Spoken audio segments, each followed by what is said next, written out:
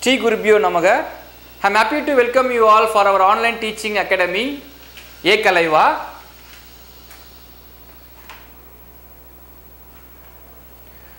For the class 9, subject biology, unit 2, kingdom animalia.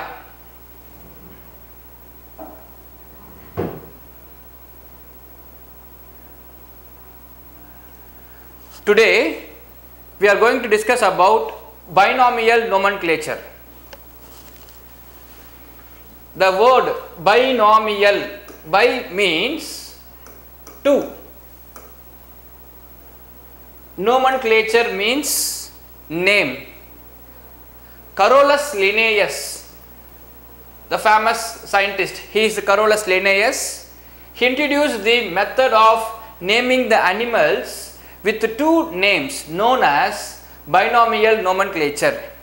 He only, only introduced the binomial nomenclature with two names.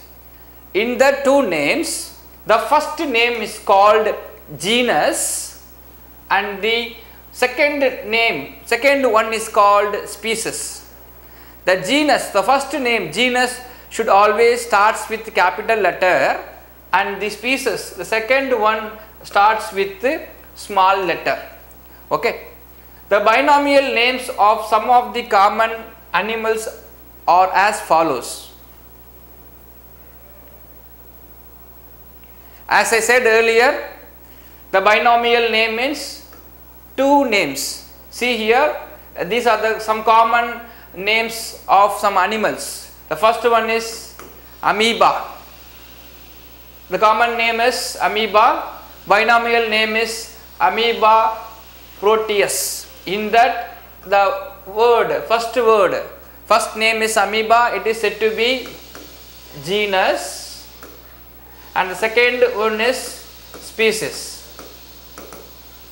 The first name amoeba genus a starts with capital letter while the species the first letter st starts with small like that all the binomial names the genus should be capital and species should be in small. Okay? Second one is hydra. The common name is hydra. Binomial name is hydra vulgaris. Third one is tapeworm. Binomial name Taenia solium. Fourth one is earthworm. The binomial name is Lamito Lamnitomorti Fifth one is leech. The binomial name is Irudinaria granulosa. Children listen very carefully. Irudinaria granulosa. And the last one is, sixth one is cockroach. The binomial name is Periplaneta americana. So these are the animals, some of the animals common name and the binomial name. Binomial name is nothing but having two names. The first one is said to be genus name and the second one is said to be the species name. The genus, the first name starts with capital letter followed by all small letters including the species name. Clear children?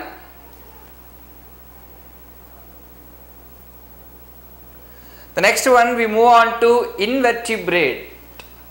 The word invertebrate or invertebrata, invertebrates means the animals do not have backbone.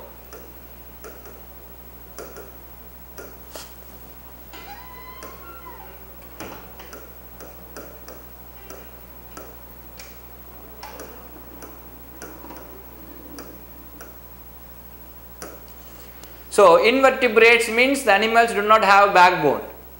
In that invertebrata, the first phylum is phylum Porifera. Bore, pore bearers, Porifera, phylum Porifera. We already discussed about the different phylum, phylum Porifera, Coelenterata, Platyhelminthes, Aschelminthes, Annelida, Arthropoda, Mollusca, Echinodermata, Hemichordata and Chordata. Among this phylum, the first eight phylum are invertebrates. In that invertebrates, the first one is phylum Porifera. These are multicellular. That means the organisms comes under phylum Porifera are having many cells, multicellular. non-motile. Non-motile means they cannot move from one place to another. Non-motile aquatic organism. Aquatic organism is nothing but they live only in the water. Okay. So, these are multicellular, non-motile aquatic organisms commonly called as sponges. They exhibit cellular grade of organization. In that type of organism, there is no tissue, there is no organs, there is no organ system. Only they have only cells. So, the organization they exhibit only cellular grade of organization. The body is perforated with uh, many pores, small small pores are present. That name of the pores is said to be ostia. Water enters into the body through that pores, through the ostia and leads to a canal system. The canal system circulates water throughout the body and carries food and oxygen. Clear children?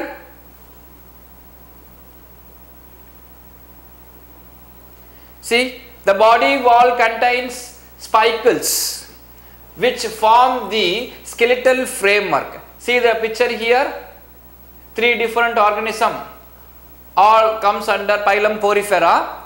The reproduction is by both asexual method as well as sexual method. Example for phylum porifera is Euplectella and Sycon. See the picture of Sycon. Next we move on to second phylum. Phylum Coelenterata. Children listen very carefully. The pronunciation is very di uh, different. The spelling is different. The pronunciation is different. Phylum Coelenterata. Other name is Cnidaria. C silent. Cnidaria. So phylum Coelenterata. Phylum coelenterate. The coelentrates are aquatic organisms. That means this type of organism, this type of animals are live only in the water. They are aquatic organisms, mostly marine. Marine means they live in the sea, they live in the ocean. So mostly marine and very few are freshwater forms. They are multicellular. So these organisms under phylum coelenterata are multicellular organisms. Multicellular means many cells and radially symmetrical. What is the meaning of radially symmetrical?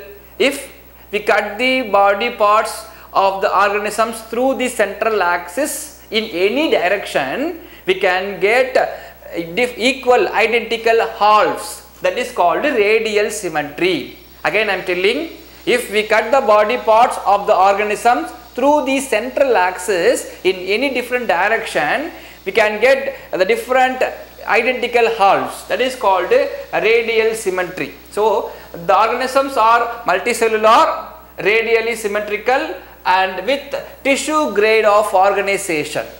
The body wall is diploblastic. Diploblastic means it is of two layers. One is ectoderm and another one is endoderm. So, the body wall is diploblastic with two layers, the outer ectoderm and the inner mesoderm. In between the ectoderm and the endoderm, they have non-cellular jelly-like substance called mesoglea.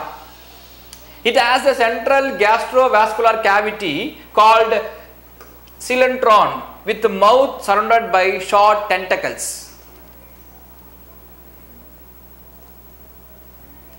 The tentacles bear stinging cells called cnidoblast. Please listen here. Cnidoblast are nematocytes. Many coelentrates exhibit polymorphism. Poly means what? Many or different. Morphism means uh, they have different different morphological structures. They inherit in different ways. The organisms comes under coelentrates. All are coelentrates only, but they exhibit in different structure. So that is called polymorphism. So many coelentrates exhibits polymorphism which is the variation in the structure. All organisms are different in their structure, variation in the structure and function of their individuals of the same species.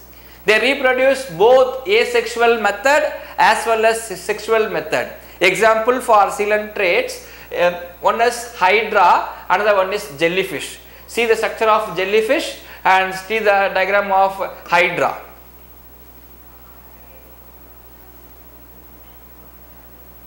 The next we move on to Pylum palti helminthus. Platyhelminthes means flatworm.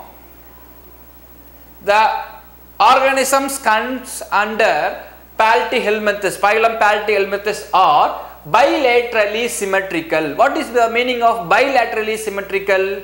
Bilaterally means if we cut the body parts through the central axis, we can get only two identical halves that is called bilaterally symmetrical. Okay. So, they are bilaterally symmetrical triploblastic. The body is covered with three layers ectoderm, endoderm and mesoderm. Okay. So, they are bilaterally symmetrical triploblastic acoelomate. Acoelomate means A means absence without uh, the body cavity animals.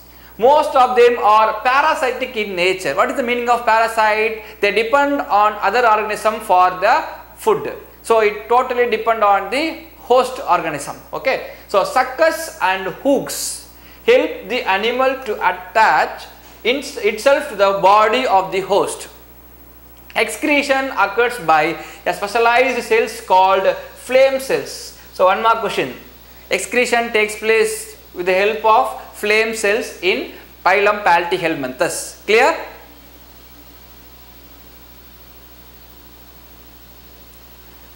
These worms, the flatworms, Platyhelminthes are hermaphrodites having both male and female reproductive organs in a single individual. Hermaphrodite means the male sex organ as well as the female sex organ. Both the male organ and female organ are present in a single individual that is called hermaphrodites. Example liver fluke and tapeworm.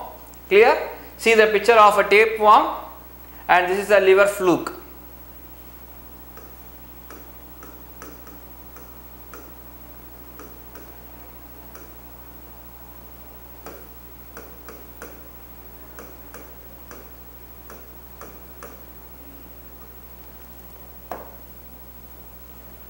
Next we move on to phylum Aschelminthes. Listen. Phylum Aschelminthes. Aschelminthes is nothing but round roundworm. Aschelminthes are bilaterally symmetrical. As I said um, earlier, bilaterally means if we cut the body parts through the central axis, we can get only two equal halves. That is called bilaterally symmetrical. So, Aschelminthes are bilaterally symmetrical triploblastic. It is made up of three layers, germ layer, ectoderm, endoderm and mesoderm, triploblastic animals. The body cavity is a pseudocoelom. Pseudocoelom means what? False coelom, false body cavity.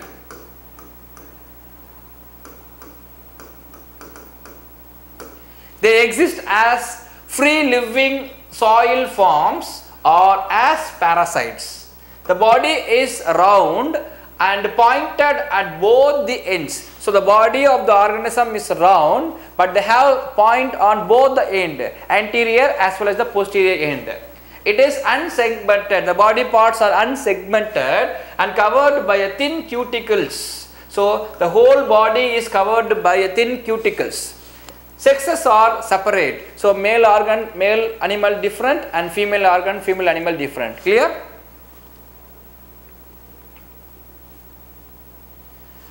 The most common diseases caused by nematodes in human beings are elephantiasis and ascaris. ascaris. So, example is ascaris. See the picture here adult worm female and male this is a round worm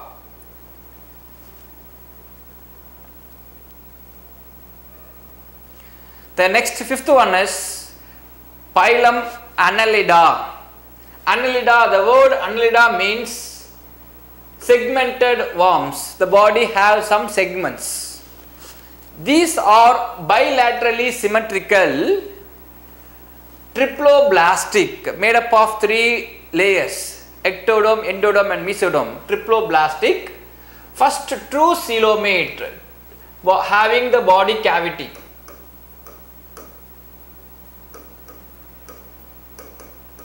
having body cavity with organ system grade of organization. So, cell, cellular level, tissue level, organ level and organ system level. Here the organ system grade of organization. The body is externally divided into segments called metamers joined by ring like structure called annuli. It is covered by moist thin cuticle. Setae and parapodia are locomotory organs. So, with the help of setae and parapodia, the organisms uh, move from one place to another. So, this setae and parapodia are locomotion, locomotory organs. Sexes may be separate or united. Example for uh, Phylum Annelida, segmented worms, Nereis, earthworm and leech. See here, this is a picture of earthworm having so many segments and then next one is leech. Here also so many segments are there. So, Phylum Annelida means segmented worms. Thank you children, we will see you tomorrow.